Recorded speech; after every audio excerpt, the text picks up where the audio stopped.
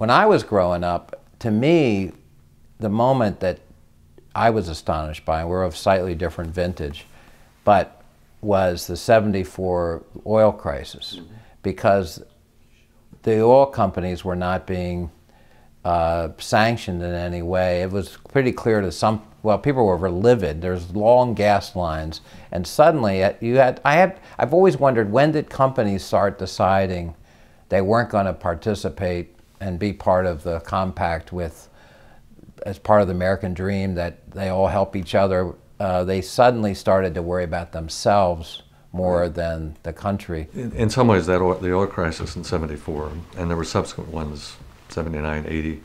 There were a whole series there in the '70s.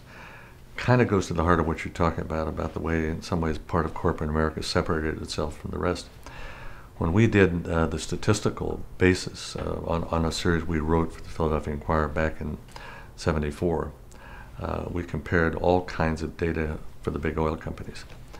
And most people thought Exxon, Mobil, Texaco, all of these companies were just part of the American system because they were headquartered here. But we showed with the data that no, the U.S. was just another customer of these companies. And that showed us right away that their interest didn't necessarily lie with U.S. consumers. And in fact, we had uh, one oil company executive who found out the company was running ads in Europe urging everybody to fill up their cars with their gas. And in the U.S., they were running ads, oh, uh, conserve energy. Uh, don't be an energy wastrel. And we asked him, like, well, how can you do this? And he said, well, these are two different markets. But it showed clearly the interest of the American public and the interest of the American uh, government as such very often did not dovetail with their interests. So we, we saw that all the way through the 70s, where the companies were moving in that particular direction, uh, not in, in a public interest. In the case of the oil crisis, what we found and this is what amazed people.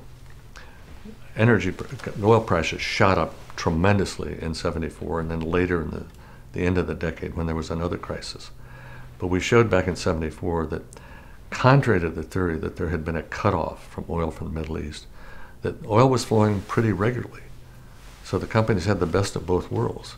The prices were going through the roof. OPEC, the prices were going through, and yet they were selling almost as much oil as they ever did. But, and it also told us something very important, which a lot of journalists sometimes forget. History is made by what people think is happening, not by what's really happening. And that oil crisis proved that. Unfortunately, that's the way a lot of our public policy is made in this country, by what people think is happening, not by what is.